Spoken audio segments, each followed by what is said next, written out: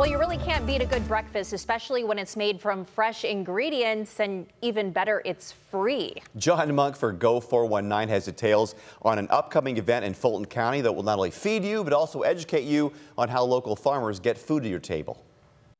Breakfast on the Farm is a program through the Ohio Farm Bureau inviting anyone from the public to go to an area farm.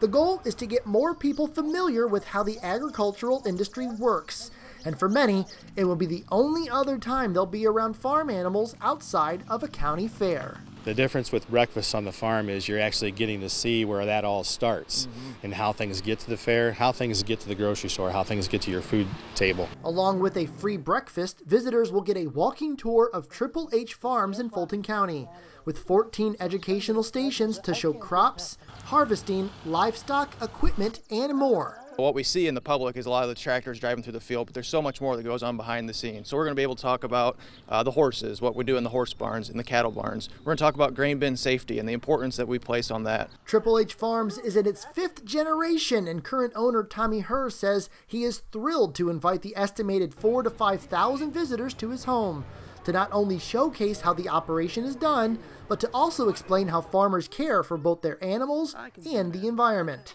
I hope there's a, a eye opener of the public understanding where their food comes from, how it's produced, uh, and how safe it is. Breakfast on the Farm runs next Saturday, June 24th from 9 to 1 p.m. You are asked to pre register, and you can find a direct link to do so on our website or free news app. Reporting from Fulton County, I'm John Monk, WTOL 11.